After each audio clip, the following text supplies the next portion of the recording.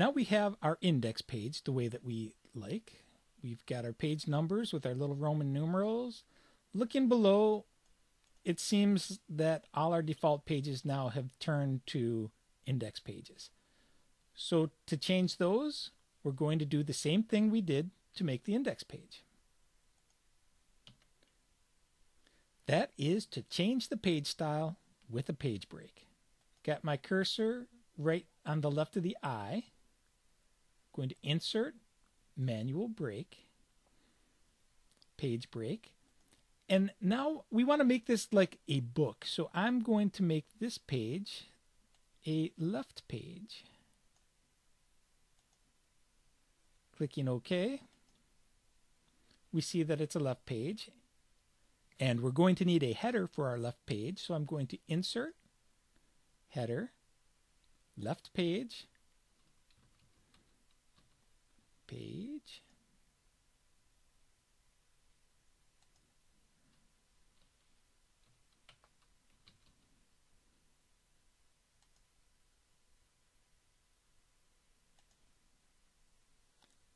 And we're going to leave this on the left side since it's a left page.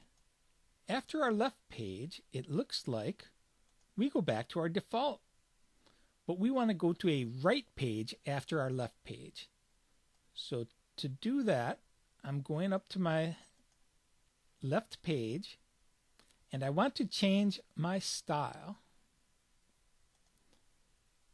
Going into the Organizer tab, Instead of the next style being default, we're going to change this to be right. So after our left page, we want it to bring up a right page. Clicking apply, okay. We've got our left page. Then we have a right page. For our right page, we want to insert a header with the page number on the right side of the page insert header, right page,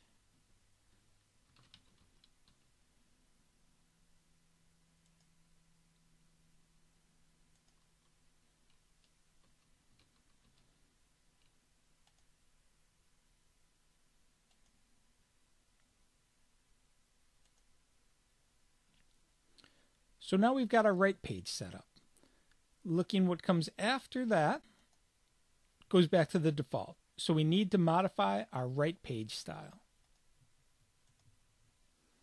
To organizer, default. There's that left page. Apply. And we should be all set now with left page, right page, left page.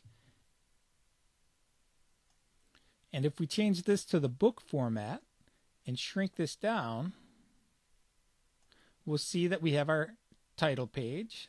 Let me turn these off. We have our title page.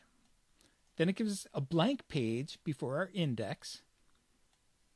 Then we said this should be our left page, right page, and you can tell this by the headers. We have our left page headers and our right page headers